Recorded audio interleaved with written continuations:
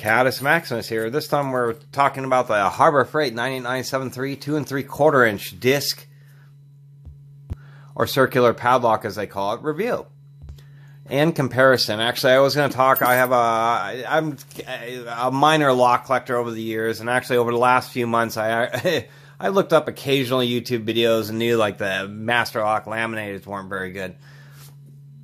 But I've really got myself more up to speed, and ultimately uh, for what someone can get off the shelf and like from a locksmith. Really, the best bet's going to be customizing one of these uh, 930s. Uh, and definitely none of the Harbor Freight locks. They all have critical issues. Their bicycle lock is the best. But here's their disc lock. It actually gets like a 4.0 review on over 100 reviews. And generally speaking, I'm sure people think it works. It's $5 when it's on sale for the two and three quarter inch. I've never seen their three and a half inch one, so I assume it's just an online uh, item only. And I try to avoid buying locks online because you never know what kind of key you get. You know, the first uh, depends to uh, as far as picking on locks, besides you know special designs, is the warding. And the long and short of it is, is you probably should just go spend fifty dollars or more and just buy a real padlock, like a best like this as you can see, it has extreme warding, which is almost impossible to get any type of pick in there that would work the the type of distances you need to move up and down the pin. So just some warding like that and no security pins or anything like that provides you a huge amount of pick resistance. And a block like this will have seven pins and dual shear lines and you can get Cormax versions and it, it goes on and on. Anyway, I recommend uh, Bosnian Bill's channel and the lockpicking lawyer to a degree as well. Then you can really learn about uh, how crappy all the locks are that people use to lock stuff up. And unfortunately, I'll have to say this about the Harbor Freight. Although it seems like a nice lock, for five bucks, it actually is a specific knockoff of this Chateau, which is real surprising. Now we can compare it. You know, we have the Master Lock Magnum. These had like a rubber boot on them, which was just pointless, so I took it off. But this is one of the Master Lock two and three quarter inch Magnum, you know, boron carbide. And here's the more basic Master Lock, the number 40. And so we know it's not a knockoff of either one of those because for two reasons. These have Master Lock's terrible four pin keys. Uh, and no security pins or anything in them, so it's like regardless of how twist resistant a disc padlock is, and that's the main selling points, is to get one of these because the shackle goes three quarters of the way around. When you open it up, we can see inside here with the flashlight, there's the other end of the shackle. So the shackle goes most of the way around the lock, and then it has real limited access space for anybody to get bolt cutters around it. Uh, this is a sheet metal stainless steel, and regardless of what grade of stainless steel, some of the very best is, you know, 440C. That's what they make knife blades out of. And even if this was fully through hardened 440C stainless steel, you're still going to be able to get through it with the hacksaw. You just have, you know, just a, quite a bit of depth to get to cut through.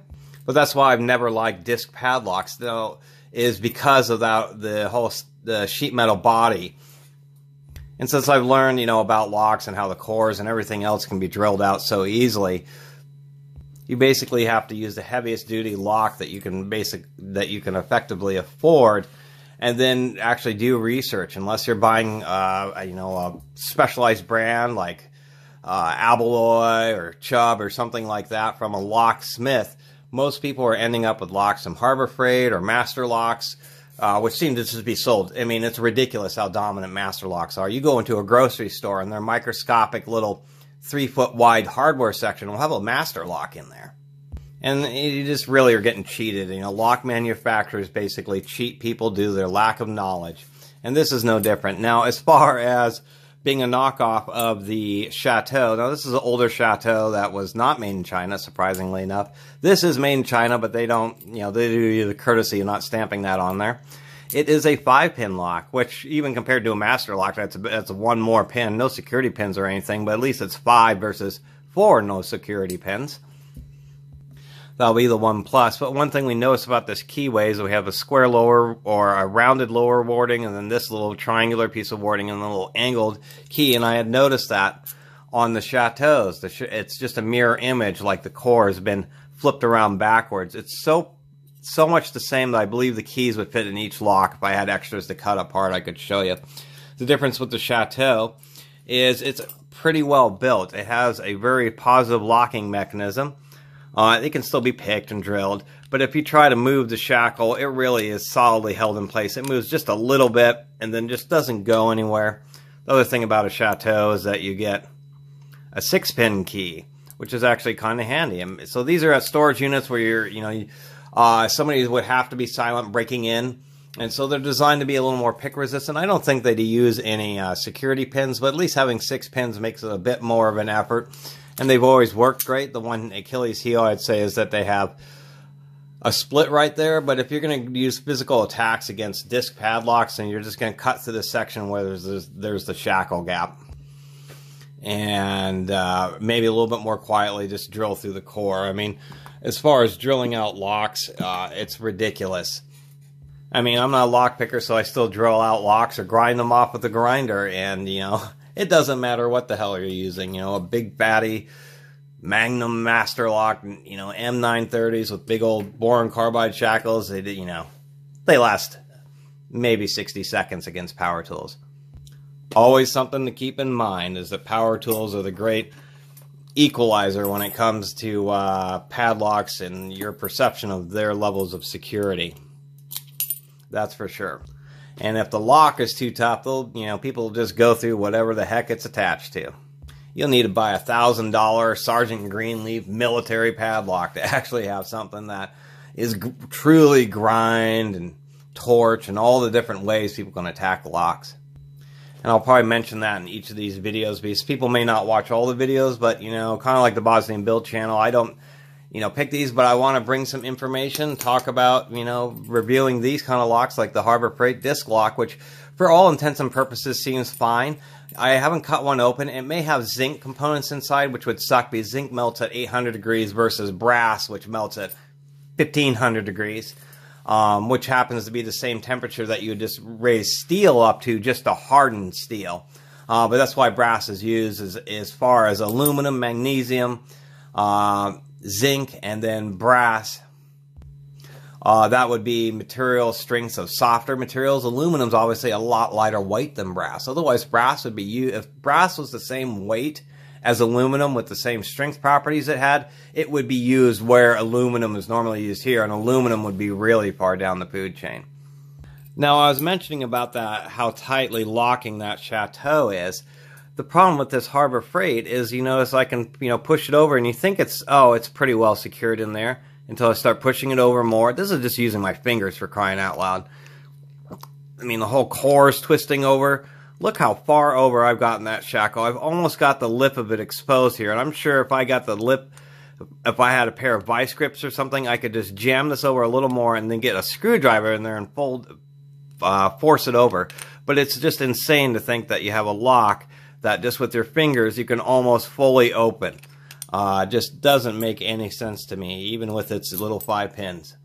And that issue isn't exclusive to the Harbor Freight. This cheaper Master Lock number 40, if we pull the key out, suffers from the same issue. It's it's kind of like they copied the Chateau's body and cylinder and then Master Lock's uh, cheap securement mechanism, and all they do is give you an extra pin for that. That is different on these Master Lock uh, Magnums here. These Magnums they put in some kind of they change the mechanism in it. So it doesn't, it does like the Chateau, or it just absolutely stops. Plus, they have a little bit wider gap and the boron carbide shackle. So back to why people use these. Uh, because they fit in tight spaces. They tend to just be stored at, used at storage units. And so people see them at storage units and say, oh, this seems like a cool lock. It's hard to get bolt cutters around because it's really wide and has a, a small exposed shackle. But you can only lock it up on so many things. The general recommendation, because the cylinders and everything can be drilled out and picked so easy, is to always mount them backwards. You know, make it, you know, it's not too hard for you to get a key in upside down. It's much harder for somebody to drill and pick when a lock is backwards. And that's about the best thing that I could recommend with this. But with the stainless steel and that corrosion protection, you are sacrificing cut and drill resistance just straight through the body of the shackle, much less the lock core, which is brass and, of course, what everybody would attack. Much less if it had zinc components that you can melt with the plumbing torch, which you can also buy at Harbor Freight. So generally speaking, for five dollars for all the reviews, unfortunately, it's just people who haven't done any homework at all on locks and haven't spent very much time on YouTube uh, studying up and realizing just how bad the vast majority of bad padlocks sold worldwide really are. And this Harbor Freight for five dollars, no way. I mean, why spend five dollars on that when you can spend just a cup? I seriously like you can get find these on sale for just a few more dollars and this offers, you know, a minimal amount of additional pick resistance than what the Master Lock does. And at least the Master Lock's going to give you more physical durability, thicker sheet metal on the side, so it's a little takes a little more time to hacksaw through. And a heavy duty shackle, you know, works a lot better, even with all the twist resistance. You know, these uh, disc back padlocks have a lot of twist resistance but, you know, that's all relatively speaking. It's going to be a lot less resistance than what this Harbor Freight lock would offer. And certainly a fraction of what those Masters or even what an American lock might offer. And we'll get to the American locks and how Harbor Freight has knocked those off on their puck lock, on, you know, their big, this is their direct, the, both of these are direct knockoffs of Americans. That's a Master Lock knockoff and this is a kryptonite knockoff, and this is a chateau knockoff. And when they knock them off, they knock them off just right, so they have all the failures and vulnerabilities, and sometimes, like on this one, it's much worse. And I'll probably do, uh, I'll do this one in a few videos. Uh, there's some YouTube videos that came out recently, people popping them open. Uh, Lockpicking Lawyer did that. And, uh, but he didn't go into any details like that there's a gap so wide between the shackle and body, uh, a small family of spiders could live in there. Uh, the, the ball bearings don't protrude very far. That's poor quality steel, etc., etc. But this was kind of more about this particular disc padlock, and even for five dollars, I have a hard time, you know, telling everybody that's recommended. And all the people who have positive reviews are just people who've never actually had somebody attack one of these locks, either by picking it or by physically trying to cut it, or you know, a physical uh, attack. And if I ever get monetized, I'll buy some of these just to do some of the physical attacks. I don't do the lock picking stuff, but you know, in the last few months, you know, watching YouTube videos, uh, at least it gives me a lot of a lot of information how you can buy some of these like Master Lock 900 series and then upgrade them with American Lock pins, and for like thirty five dollars. Uh, you can have a real high security lock and even pull out protection. I've done something inside these all these locks have like little cams, and I've upgraded them with high speed steel uh, reinforcing pins. A lot of things you can do to customize locks, and so that's kind of the point of this next review series is just kind of try to talk about the information that I have and what I've learned. Get a little more review content and uh, just generally talk about the locks. I'm not going to recommend any of the Harbor Freight locks. I'll have to absolutely tell you, but for this, for five bucks, and then this thing, which with the cable was like eleven fifty on sale or twelve bucks. This thing is like awesome compared to all the other Harbor Freight locks. And to tell you the truth, it would be a good lock if uh, they didn't have cast zinc locking dogs. So a plumbing torch will melt that lock and it will just fall apart on you. Even though zinc is actually not a bad material, has good. You can get alloys with good impact resistance and good hardness uh, and it casts really well. That's why manufacturers, particularly in locks, like to use them. Master Lock is notorious. All their Magnum locks, as far as I know, besides this one, and I haven't been inside this one, all fail the torch melting test. They all cast zinc in them. No joke. All the Master Lock Magnums. Don't, those are as bad as any Harbor Freight lock. You spend 30 bucks on a lock like this, it has a zinc Bible in it, you know, one of those torch lighters. Can melt that Bible down in a big old fatty master lock like that. It's crazy. Down the road, we'll get to the new Magnum 9, 930. This thing has a variety of vulnerabilities, which is, I just, you know, my heights. The ones I modify are the older versions, not this thing. This thing, real disappointment. Anyway, that's the, la- the end of uh, kind of this quick review uh, about the Harbor Freight disc padlock and kind of an overview of the starter uh, of this series. And generally speaking, even for five bucks, you know, the only reason is it would be absolutely one of the dirt cheapest locks. And if you're going to get a dirt cheap harbor lock, uh, harbor freight lock, you know, I don't know what you'd use this for. A cheap kid's bicycle that they can take around where if it does get stolen, you're not so worried about it, but you don't want to spend any kind of significant money on a, you know, somewhat better of a lock. It's the only way I could recommend this. Otherwise, it's pointless, you know. Go get a Chateau from a storage unit. At least you'll get a six pin core and a better securement mechanism in it over the Harbor Freight that you can practically open with your darn bare fingers. I mean, this is just crazy that I can push this dang shackle all the way over like that. I've never seen something like that before until I found that master lock.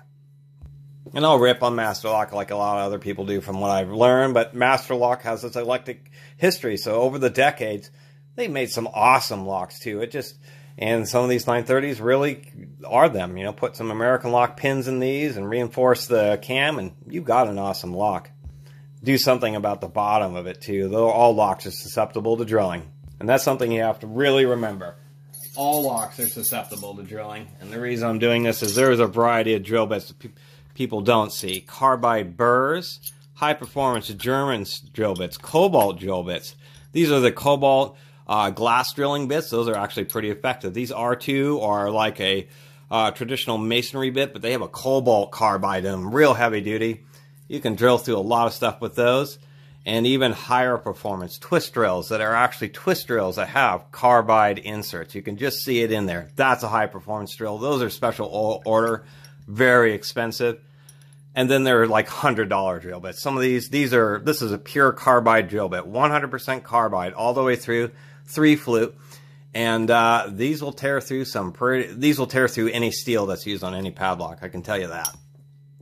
So generally speaking, you always get the heaviest padlock, padlock you can physically uh, afford because it provides the most amount of physical protection and then do a little research to uh, make sure it doesn't have some crazy ass vulnerability like an American lock where you can uh, make, get a skeleton key for the damn things. You have to go locksmith and get a special wafer and open up every one that you can open up to make sure that it doesn't have that defect in them. What a sore disappointment on the American locks when I found that out. Anyway, we'll be doing a lock series over the next week, and I really appreciate everybody uh, watching and subscribing. I'll definitely be doing more tools. I kind of ran into these and have been doing videos, watching videos over the last few months, and just said, you know, why don't I do that while the information is fresh in my mind, and I have a little collection so I can kind of add to the community, um, and of course, shamelessly get some video content out of it. Once again, please subscribe. Catus Maximus out.